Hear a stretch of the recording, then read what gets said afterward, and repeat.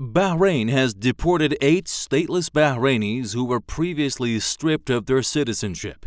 This after an appeals court upheld a 2012 ruling that ordered the deportation and stripping of citizenship of nine Bahraini nationals for what has been described as damaging state security.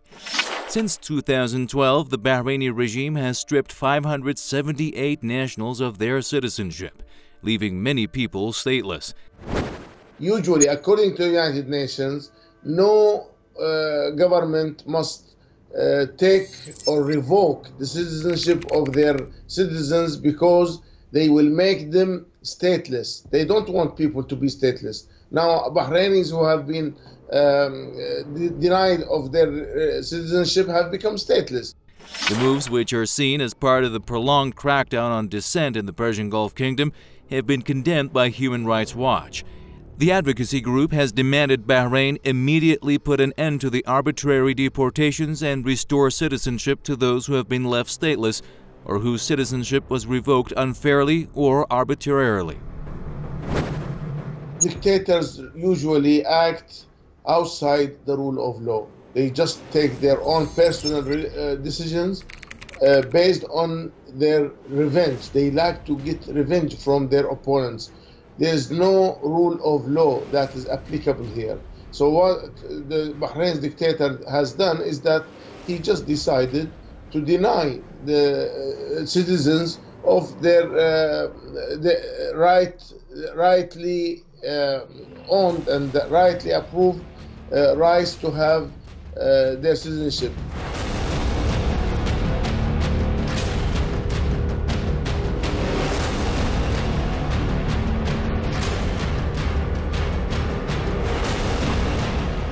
Opponents of the Bahraini regime and some neutral observers believe that the Al Khalifa dynasty, which is ruling the kingdom, has lost all shreds of legitimacy ever since it began its harsh crackdown on the popular uprising, which began in 2011. The crackdown has left many people dead. Thousands of people, including professionals such as physicians and academics, have ended up behind bars for supporting the uprising.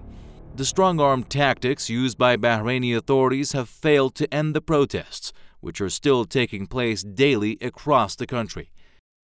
We don't regret any of this. We did not we are not criminals. We simply stood up for something that we think is, is our right and we think our dignity is the most important thing.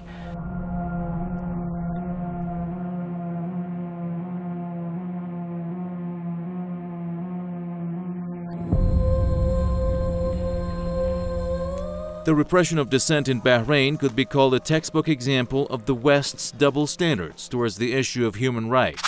Nearly all Western governments have kept largely silent on the crackdown in the country.